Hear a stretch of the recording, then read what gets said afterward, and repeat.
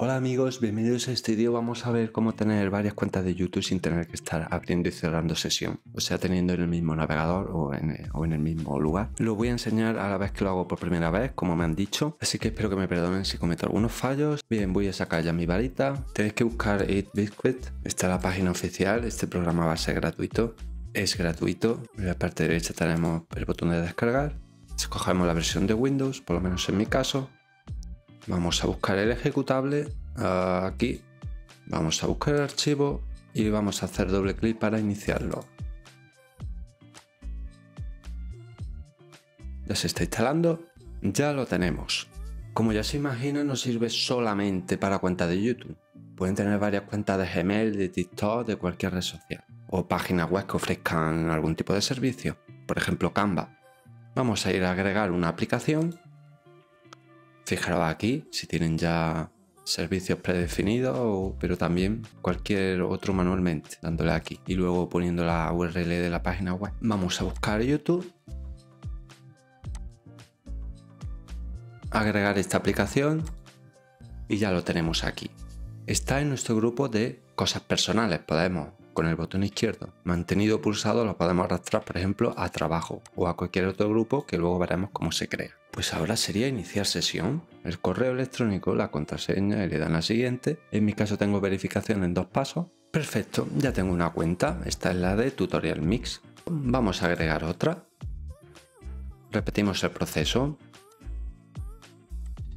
Iniciamos sesión. Evidentemente metemos otro correo electrónico tengo dos, Tutorial Mix y la de Breve Mix. Para no confundirlas, ¿qué puedo hacer? Renombrarla. Puedo ir a los tres puntos o pulsar con el botón derecho, editar aplicación. Esta es la de Breve Mix. Save. Y esta hemos dicho que era Tutorial Mix y puedo repetir el proceso con cuantas cuentas tenga. De YouTube, de TikTok, de Instagram, de WhatsApp, de Telegram. Las posibilidades son infinitas. Ya no hay que estar cerrando y abriendo sesión continuamente. También podemos crear grupos. Por ejemplo, si vamos a utilizar esta aplicación Mi Hijo Yo, puedo poner un grupo que sea para mis cosas, por ejemplo, papá. Y otro para hijo. Que coste que no soy padre, ¿eh?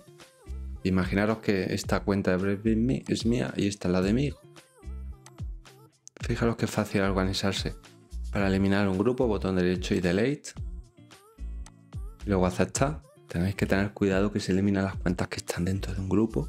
Antes hay que pasarlo a un sitio que no vayáis a borrar. Los grupos se pueden también renombrar con los tres botones o botón derecho del ratón. Tenemos aquí Rename. Mirad que tengo ya aquí 5. Podemos mutear, botón derecho y mute. Y para desmutear, pues lo mismo, botón derecho o mute. También tenemos la opción de abrir en el navegador por defecto, en, en, una nueva ventana o en una nueva pestaña. Aquí tenemos las pestañas. Queremos desactivar las notificaciones de todo, tenemos aquí el botón.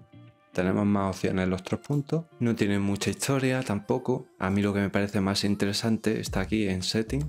Podemos elegir modo oscuro o el modo claro o que eh, o en automático que va a ir en función de cómo esté el sistema operativo.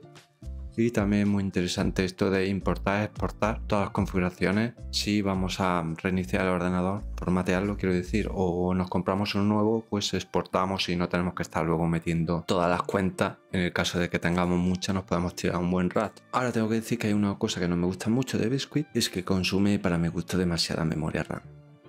Así que bueno, yo lo voy a tener solamente para cuando lo necesite. Eh, en mi caso que tenga que subir algún vídeo a alguna cuenta. Bueno, muchísimas gracias por la visita. Espero que os haya gustado. Apoyarme con un like. A ver si voy mejorando la forma de expresarme. Chao, chao. Saludos.